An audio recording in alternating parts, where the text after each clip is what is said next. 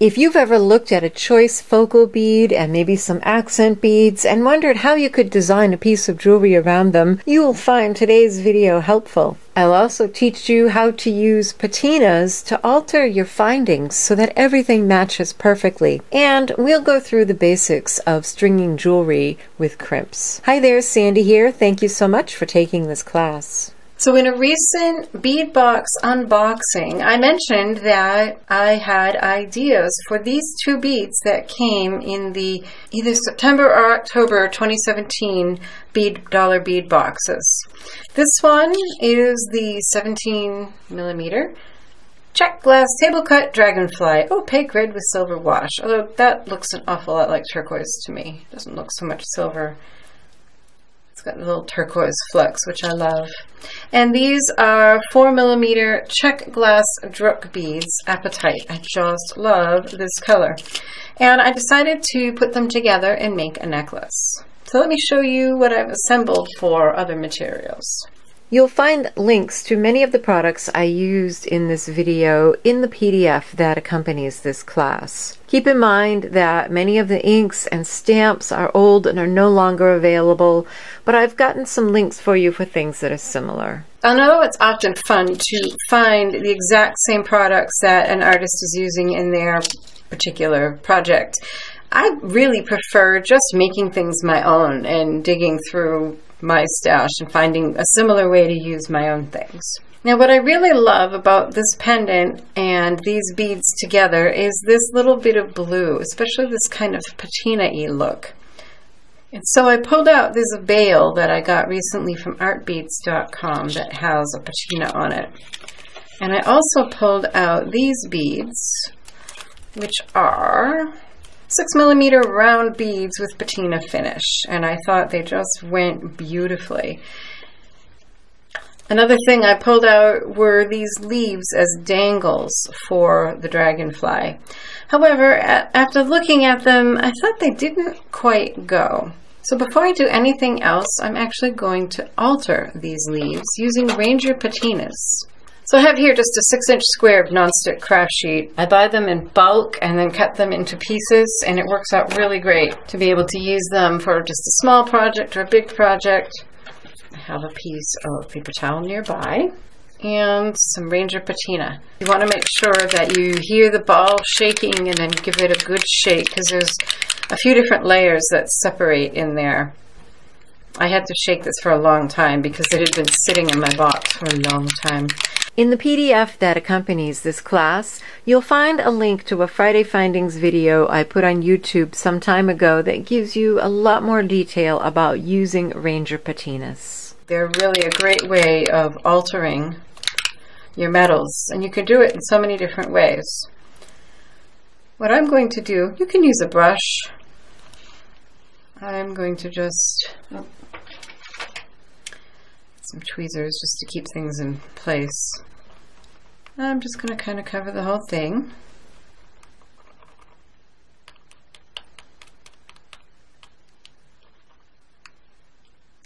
The tweezers just keep me my fingers out of it. When I was first testing this, I, I was doing it like in a 20 minute window that we had before we were going out, and I found they stain your hands pretty well.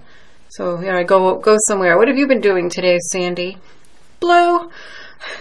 So now I'm just going to pick this up with the paper towel and give it a simple blot. That's it. And look at the difference. Suddenly, these go so much better with my planned necklace. Now you can do this a couple different ways. I'm going to actually put a little bit more on there. I think I blotted off more than I wanted to, to tell you the truth. And I probably should take off the jump rings but I don't want to. so just a light blot. There, that's better. But what I just showed there is actually uh, kind of shows you you can get all different stages of looks with these patinas. Here are some I did earlier. And here's one that looks much like that. That's what I'm going to use in my necklace. Here's one I already put on a piece of chain for a dangle. Here's one that I put in the puddle of patina, lifted out, and just kind of scooched it across the mat. Didn't dab it with paper towel or anything, just let it dry on there, and you get a nice satin finish. And I just wanted it to come out of the holes of the piece. This one I actually left without moving, so you actually get a very different look. It's kind of filling some of the holes, and it looks different, which is sort of fun. So more on the range of patinas. One thing I mentioned I should have, let's I'll show you on this one. I should really have taken off the jump ring because it got coated with the patina, which remember you can coat all your findings with the patina. However, it's going to add thickness. So what I'm doing now is kind of twisting it through that hole because it's it's not dangling freely. So I'm kind of twisting it through the hole and that's scraping off some of the excess patina. There, now that's a little better. And like I said, you might want to be more sensible than me and just actually take them off first and leave the jump rings uncoated. Because these holes in these leaves that they're going through are pretty small. Let's see, I think it's those three I'm going to use in my necklace.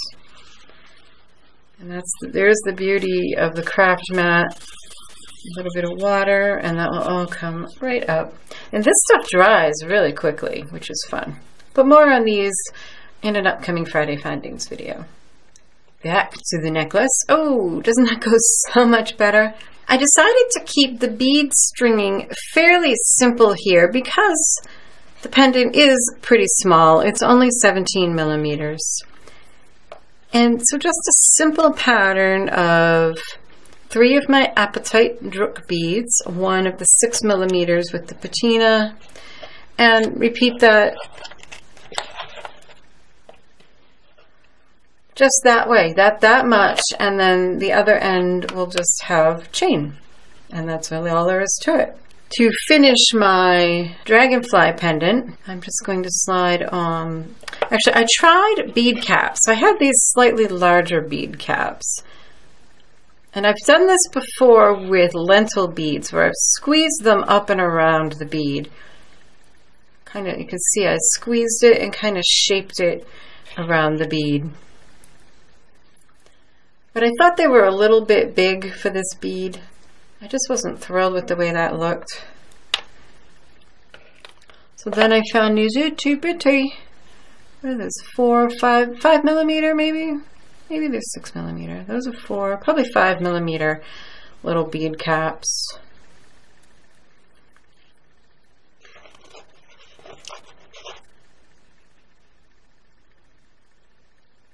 And there, they, they just add something to the dragonfly bead without being too much. And then I'm just going to decorate the top with one more of those patinaed corrugated six millimeter beads and one more of these. And oh yes, I forgot to show you. So I had a hard time finding a dangle for the bottom of this bead that was in proportion and looked good. This also came in either the September, I think the September bead box, and I thought it was really pretty. And this would also be gorgeous colored with patinas. But I thought it was just a little big for the bead. And then there's that, which is cute, but I, I just didn't care for the shapes together. See me being all picky here. And then this, um, too much round round. I mean, you could be keep you could make it a motif and repeat rounds.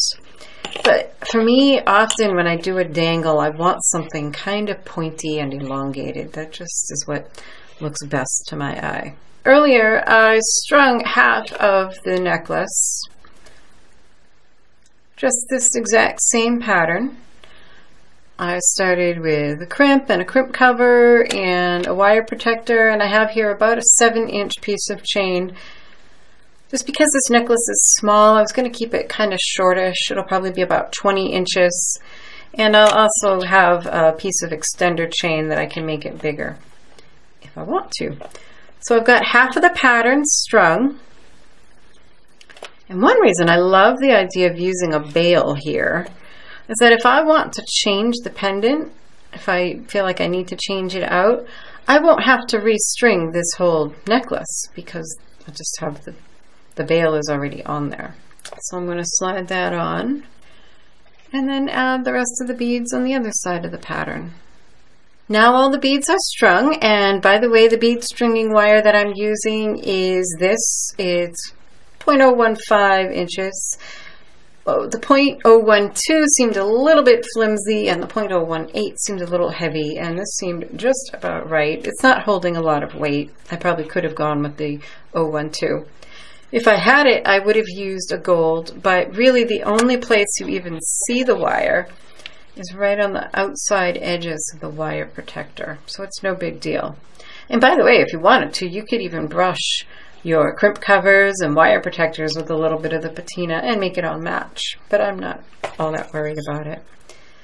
And I have a really long end here because this is the last piece on that spool, so I didn't want to cut it because I may find a use for the leftover bit later. So now I'm threading on a crimp and a wire protector. And I'm showing you the second side. I used to show the first side and then edit out the second side, but everybody wants to see the second side because that is the harder one to do. But both are done the same way, except that when you come to the second side, you have to do a little bit of adjusting the length. So we go through one side of the little horseshoe wire protector and then through the other side. And don't get all excited and go back through your crimp just yet here. You need to go through your chain, especially if your chain is soldered or has teeny weeny links like this one. Much easier to do it now, although you could always attach it with your jump ring later. But this way you know it's quite secure. So that's right like that. And now I will slide the end of the wire back through the crimp.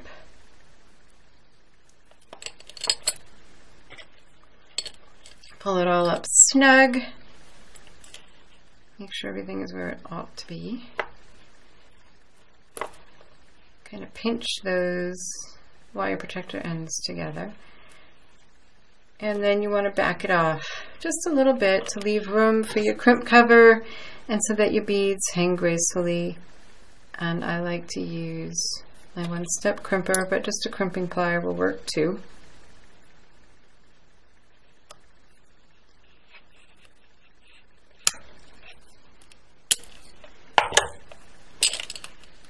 I always give that a good tug and make sure it's not going anywhere uh, before before I trim it. So that's a usable piece of wire. That's about 8-10 inches. So I'll put that back on the spool. And then crimp cover, which this is what I use the regular crimping pliers for because they have those little round divots that are just not there. in the right spot. Here we go. Those little round divots that are just right for holding a crimp cover. I remember when I first tried using these, I was losing my mind trying to pick them up with flat nose or chain nose pliers and they would go squirting out. And I spotted the, my crimping pliers one day and said, aha! And they work great. So squeeze it just enough to close that up. And there's your chain. You just need to add a clasp and an extender chain and probably a jump ring on the other side if you want. And now let's finish our pendant. I like to use my one-step looper, but not everybody has that. So let me show you how easy it is, especially if you only have one to do. First, I'm going to trim this wire. So it's about 3 eighths of an inch beyond that last bead that I put on. Grab it with my round nose pliers and just can see I'm just twisting my wrist towards me.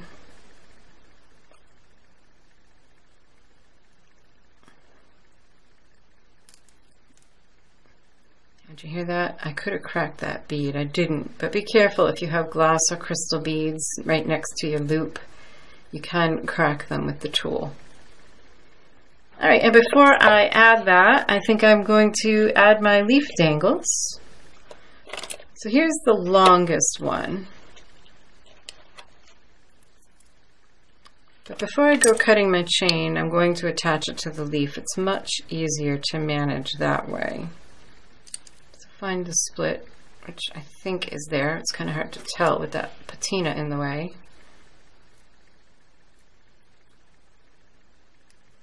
Oh, I got it. Yay.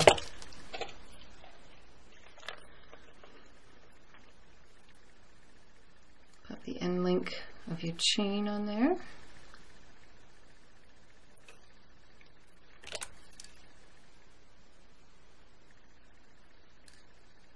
Close it up. The other way.